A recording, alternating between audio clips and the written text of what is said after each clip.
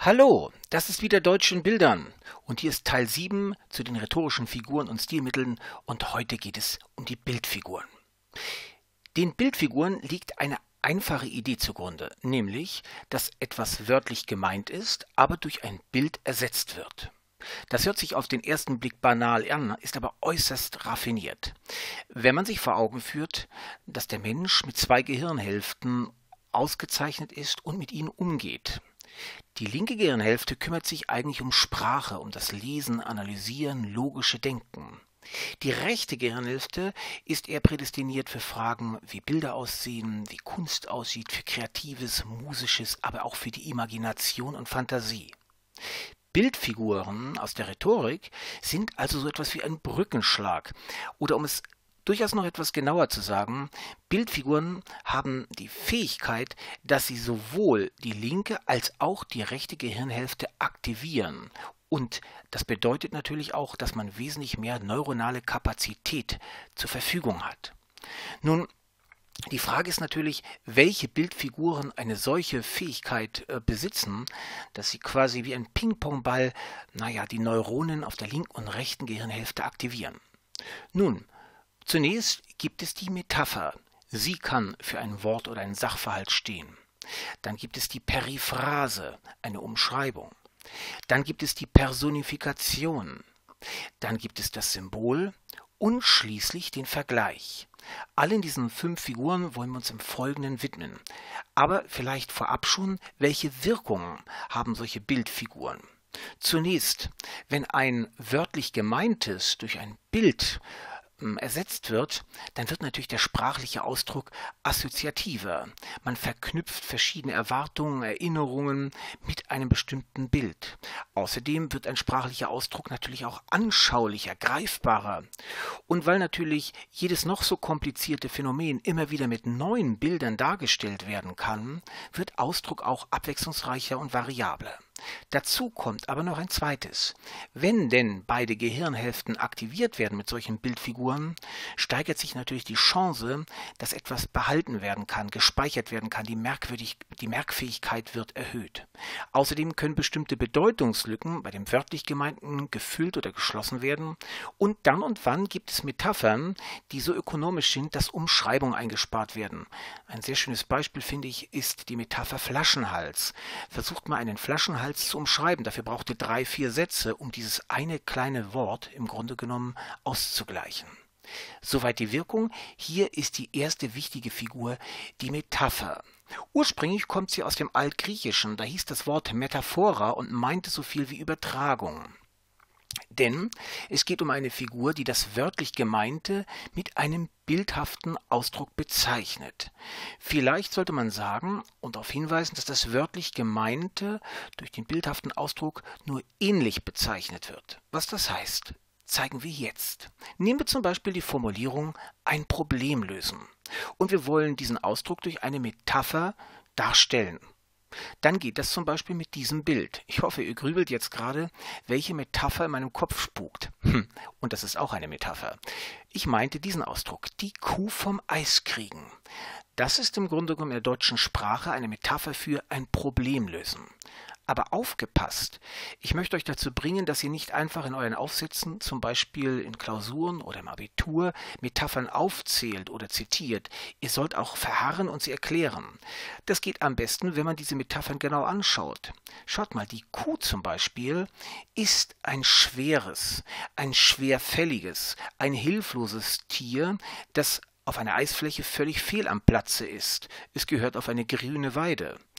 Und Eis ist nicht nur einfach Eis, sondern es ist eine glatte, eine brüchige, höchst gefährliche Oberfläche. Ihr seht es, mit der Metapher schwingen zusätzliche Bedeutungen mit und diese können im Grunde übertragen werden auf das ursprünglich Gemeinte.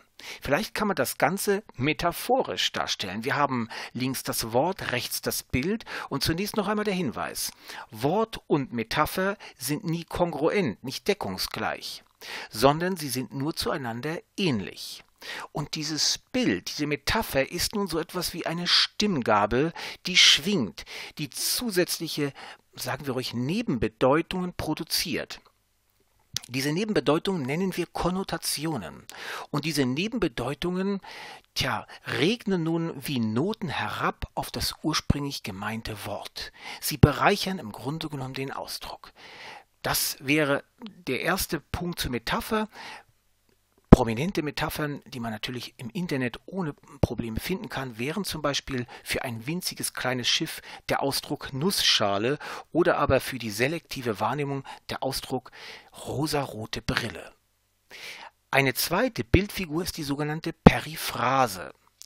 Auch hier können wir ruhig in die Etymologie, in die Wortgeschichte gucken, denn ursprünglich kommt das Wort aus dem Griechischen peri heißt so viel wie um oder herum und phrasein heißt reden.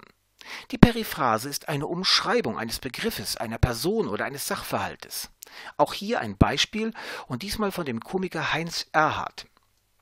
Er hat nämlich einmal eine kleine Filmszene gespielt, in der er sich mit seiner Nachbarin geärgert hat. Also, wir haben eine männliche und eine weibliche Figur und sie streiten miteinander und die männliche Figur sagt nun, na das sagt sie nicht, aber sie will sagen, sie sind eine Gans.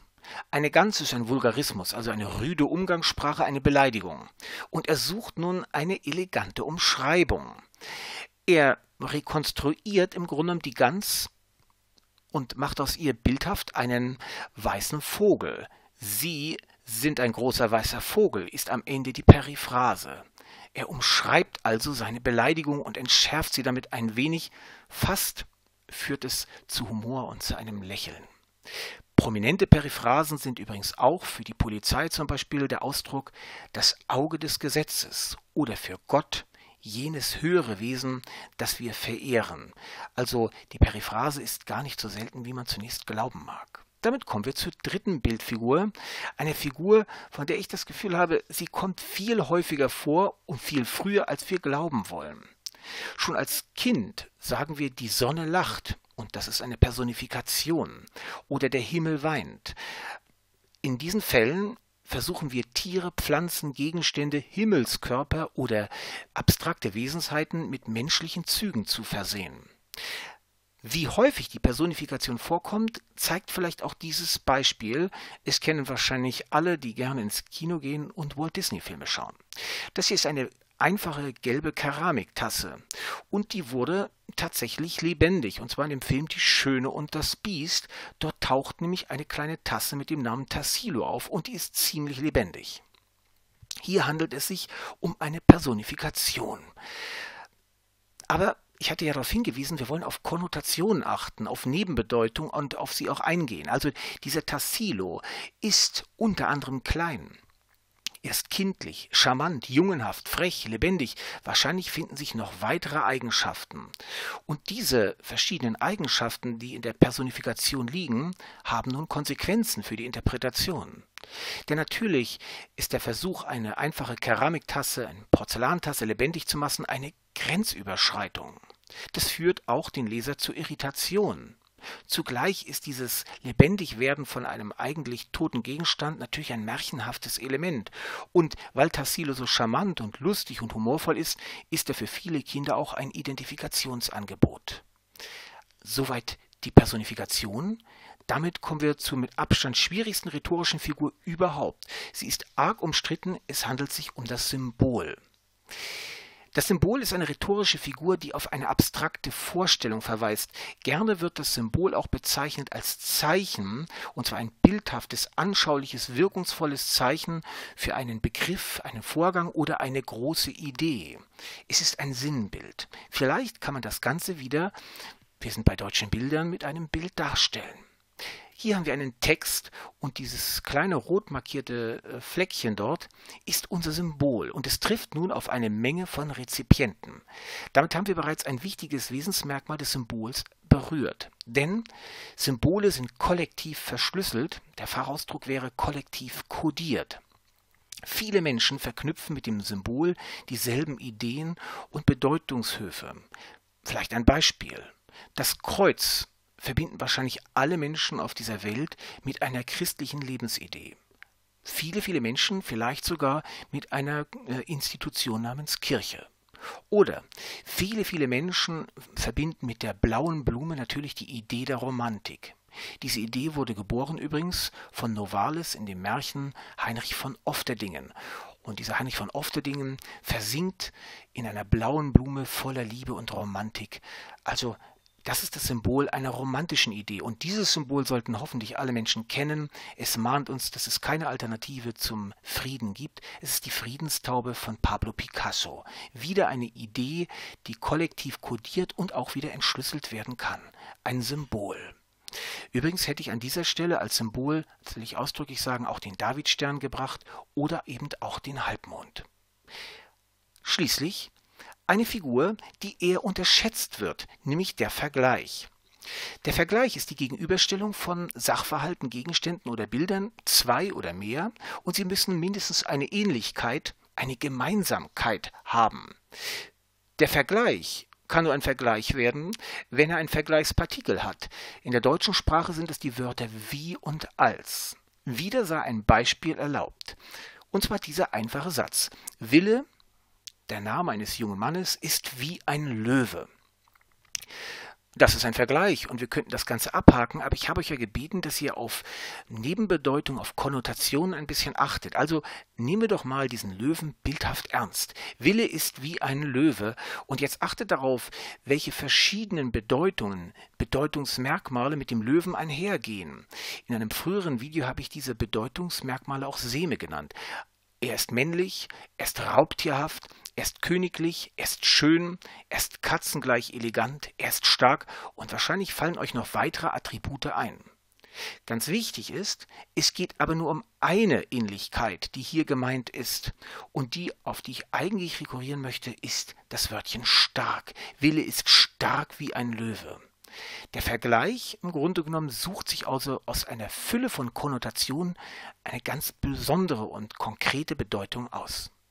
Damit wären wir fast fertig, aber ich möchte für alle Profis noch etwas hinzufügen. Es gibt nämlich homogene Vergleiche und heterogene Vergleiche.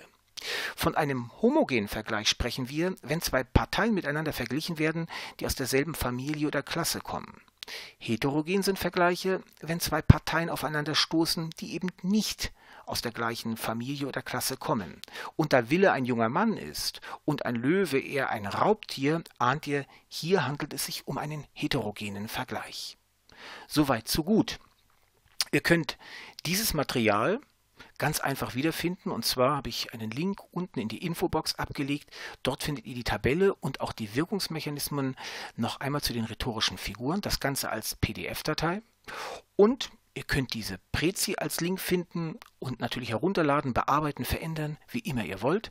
Und ich versuche nach und nach auch auf der Facebook-Seite von Deutschen Bildern Material abzulegen. Das war das heutige Video zu den Bildfiguren. Der letzte, achte Teil zu den rhetorischen Figuren kümmert sich dann um phonetische Phänomene, nämlich um Lautfiguren. Ich danke euch ganz, ganz herzlich für eure Aufmerksamkeit. Vielleicht ja bis zum nächsten Mal.